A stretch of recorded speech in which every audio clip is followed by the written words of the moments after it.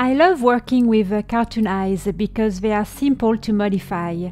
It is uh, very easy to create uh, different moods. However, manga eyes are a different story. In today's painting exercise, we are going to color this manga eye.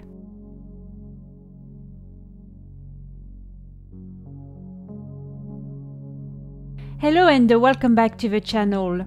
In order for you to paint along with me, I have created a PNG file of a manga eye that you can download and use. I will include a link in the description box. Now, before I start, uh, let me go over a few points. Follow my cursor and follow the written instructions.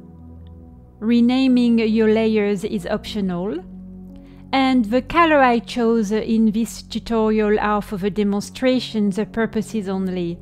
You choose uh, whatever color you want. Alright, I'll stop talking now. I hope you'll have fun doing this little exercise. I'll uh, catch up with you uh, next week. Au revoir et à bientôt.